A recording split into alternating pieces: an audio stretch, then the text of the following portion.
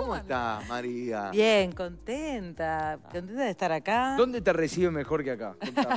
Y la verdad que... ningún lado. Mirá en este ningún lado. mirá. En ese, en ese escenario con esos compañeros maravillosos, Wow. con el curioso incidente del perro de medianoche. Wow. Ahí me ¿eh? Es largo bien. el título, ¿eh? Sí. Voy a la boletería y tengo, te que, dicen- tengo que leer el. No, y cuando terminaste dice, mirá que ya pasó media hora. Yo abrevio, digo, el curioso. El Claro. curioso, el curioso.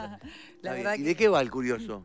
Y bueno, es un- una gran obra, es una gran obra donde ahí tenemos a nuestro protagonista, Marcelo Badano, que es, bueno, un adolescente con espectro autista. Y a partir de un acontecimiento que pasa con la muerte del perro de su vecina, se va, eh, digamos, transitando las vicisitudes que trabaja, que, que- que camina un, un chico con, con Asperger, que es lo que él tiene, en busca de, bueno, su mamá, en parte, y, y bueno, no puedo contar la obra Claro. porque es una obra para ir a verla. ¿Y tu personaje de qué va, María? Y bueno, mi personaje es la madre Sí. de, de Christopher y puedo decir solamente eso, pero es, es un personaje muy, muy especial. A mí este, en lo personal me, me costó mucho entender lo que sucedía con esta madre. ¿Te interpeló hacer esta obra y este personaje? Muchísimo. Me interpeló fundamentalmente porque me costó entender eh, la- las decisiones que ella va tomando en, la obra y fundamentalmente me enfrentó al tema de- del autismo, donde es un mundo que no está preparado para, para, este, para personas del espectro.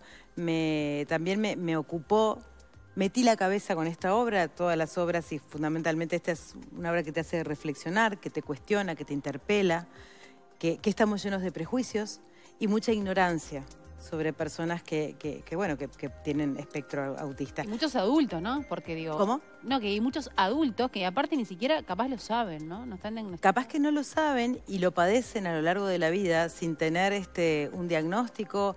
O también quiero ser cuidadosa con las palabras, Ah. porque eh, no se diagnostica, no sé, eh, yo no soy una especialista del tema, pero sí me involucré con el tema, me abrió mucho la cabeza y fundamentalmente me di cuenta que es un mundo donde no está preparado para eh, realmente para, para- para la integración, ¿no? La integración real, no el eslogan de la integración.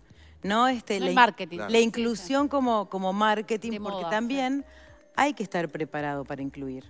Eh, Sí, sí. Tienen que estar preparados los centros de estudio, eh, todo, la ciudad. Nos falta mucho, lamentablemente. Nos falta mucho, pero nos falta mucho poner el tema arriba de la mesa. Y esta obra lo pone. Lo pone, sí. Es un gran espectáculo que tuvo este, un gran éxito en, bueno, en el mundo. En Argentina estuvo dos años en cartel. En Londres sigue, este, siguen haciendo funciones. El autor se- Mark Haddon. Mark ¿no? Haddon es- Y, este, y viendo un poquito la historia de él, él dice que trabajó con personas que padecían de dificultades físicas o mentales, este, y de hecho hasta un libro, ¿no? Eh, ha superado el millón y medio de ejemplares vendidos y ha sido traducido a 35 idiomas. Exacto. Es una versión, es un se ha transformado en un clásico.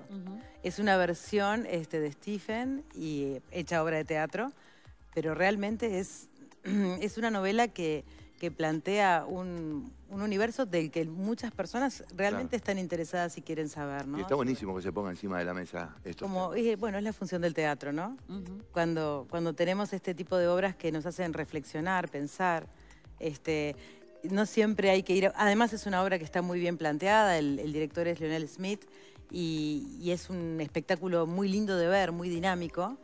Y, este, y volviendo un poco al personaje de- que, que interpreto, que es la mamá de Christopher, me, me ha hecho pensar mucho en las madres, porque soy la madre, que se enfrentan a este mundo que no está preparado para, para, Claro. estos, para estos hijos y para estos adultos Y que también. ellas desconocen y aprenden a conocer a través de... de- de- de Y es un día a día muy duro ¿no? para una mamá que tiene Es un, día, es un día muy duro, pero no por la victimización, ¿no? sino por Asumir esa, Claro. Esa situación también. asumir la situación. Yo no lo quiero poner como algo castigoso ni algo Sí. este, que hay que, que es menor tener, que es menos este, que hay, presentan dificultades, pero creo que las dificultades están planteadas en el entorno. Claro, no tener las herramientas para determinadas actividades que serían normales, ¿no? No, exacto, no tener las herramientas. Bueno, hay en algunos este, ámbitos privados, en algunos colegios que sí tienen y uno específicamente que, que hay hasta un edificio hecho y hasta hay, eh, digamos, toda una, una- una infraestructura pensada para, para este tipo de, de- de problemáticas o, insisto, no son problemáticas, son realidades. Eh, pero falta muchísimo, falta muchísimo, muchísimo. De hecho, bueno, mi hija el año pasado fue acompañante terapéutica y me iba contando en un día a día cómo podía ir generando estrategias en el lugar donde trabajaba para, para ir este, generando felicidad en, en el, en el niño que acompañó. Y, este, y bueno, realmente me parece que hay mucho por hacer. Este, es una obra que, que nos interpela, que, que nos entretiene, que Una nos obra hace que ya pensar. la habían presentado y ha sido un éxito, ¿no? De- El año pasado estuvimos en el Sodre con seis funciones agotadas. Bueno, y esta semana, desde hoy hasta el domingo, tenemos funciones de corrido en la Sala Balso. Y, y bueno, es, es para ir a verla. María, más allá de la, de la actuación, ¿estás también eh, con tu rol de, de directora? No en esta obra. No en esta No obra. en esta obra, pero estoy dirigiendo una obra que se llama Yo también quiero ser un hombre blanco heterosexual, de Carla Zúñiga. Este, y, y Todos bueno. temitas eh, livianitos, ¿no? Lo que pasa es que, ¿sabes qué? A ver, si bien el humor es maravilloso y las comedias son geniales, pero estoy en una etapa de la vida que, Elegís este tipo que de... e- elijo mucho y elijo temas que, que necesarios para, para poder este, mover el pensamiento visibles, y el alma. Sí, para hacerlos más visibles sí. Considero que el teatro también es un entretenimiento, pero a mí me entretiene mucho pensar, reflexionar y bueno, esa es la función del teatro, ¿no? Ver María, ¿y cómo... ¿Cómo es el trabajo de directora? Y es enorme. A mí el trabajo de la dirección me encanta. Aprendí a dirigir en IAM, en el Instituto de Actuación de Montevideo, donde soy una de las socias fundadoras, directoras, junto a Gabriela Iribarren y Marisa Bentancur, este, hace 24 años. Y bueno, dando clases me he hecho directora. Y me parece, es, es- para mí es otro ángulo del teatro, es, no, es- no tiene nada que ver con actuar, pero el ser actriz me ayuda a, a dirigir hasta con más herramientas, ¿no? Este, elegí, no, no dirijo cualquier obra, dirijo obras que realmente ni acepto cualquier obra, no por, no por poner en menos o Sí, más, sí. sino que Te tiene que mover. que a mí me interesen, que a mí me muevan y que yo tenga una propuesta. Y me parece realmente que es donde yo puedo generar una lucha, eh, digamos, social, este, una lucha artística y defender los espacios de teatro y defender el teatro. Y viste que hay mucha gente que dice, ay, ¿sabes que yo no fui al teatro, no voy al teatro porque una vez vi en- una obra?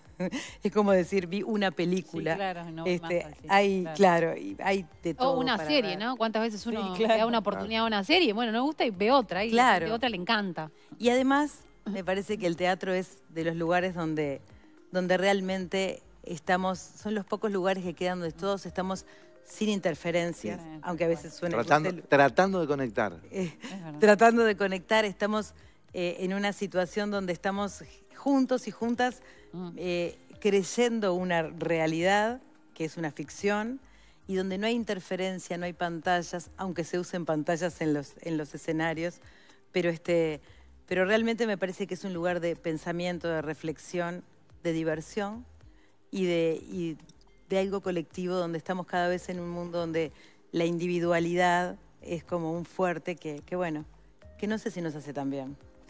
Así es. Bueno, tenemos eh, un, elenco tremendo. Alejandro Camino, está eh, Leonor Svarcas. Svarcas es. Vargas. dicho, ¿no? Vargas. Susana Groisman, Sergio Mautone, Marcelo Badano, Flavia Iri- Irizarri y Belén Isaurralde. Tremendo Así elenco, tremendo elenco. Realmente es, es un placer trabajar. No hay nada más lindo que los actores. este, y con Leonardo, el Leonel Smith, que es el director, Bel en la producción. Somos un equipo fuerte. Y, y bueno, que hoy salimos a la cancha a hacer este obrón que, que vale la pena y que, y que realmente vengan al teatro. El teatro hace bien. Totalmente. El teatro nos hace mejores personas también. María, un placer. Gracias. María. Muchas gracias. Bueno, y vuelvo cuando esté por estrenar Yo también quiero ser un hombre blanco Dale, heterosexual. es Ahí nos contás todo. Cuando quieras. Gracias. Gracias. gracias. ¿Vamos a la pausa? Pausa, ya venimos. Dale. Qué suerte la mía